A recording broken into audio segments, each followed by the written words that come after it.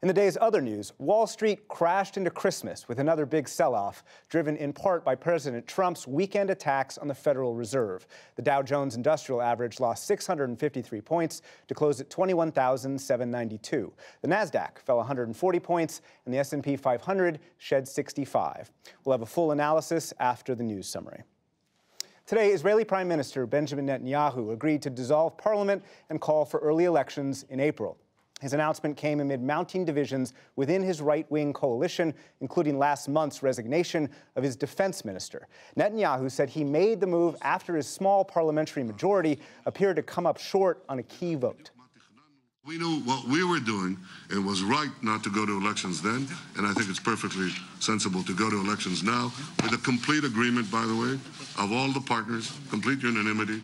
Netanyahu is heavily favored to win re election, but he's also facing an ongoing corruption probe. Today, Israel's attorney general said an early vote would not affect that investigation. In Afghanistan, at least 29 people died in an hours long assault on a government office in Kabul. It began with a suicide car bombing, followed by gunmen storming the public welfare department. Both the Taliban and Islamic State militants have carried out similar attacks in the past.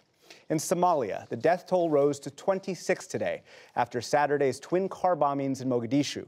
The extremist group Al Shabaab claimed responsibility for detonating a car bomb near the presidential palace and a smaller one by an underground prison. And on this Christmas Eve, people all over the world mark the holiday with prayers for peace. In Bethlehem, Palestinian scouts paraded in Manger Square playing bagpipes and drums. Pilgrims filed into the Church of Nativity, the site revered as the birthplace of Jesus. And at the Vatican, worshippers filled St. Peter's Basilica, where Pope Francis took part in the traditional celebration of Midnight Mass.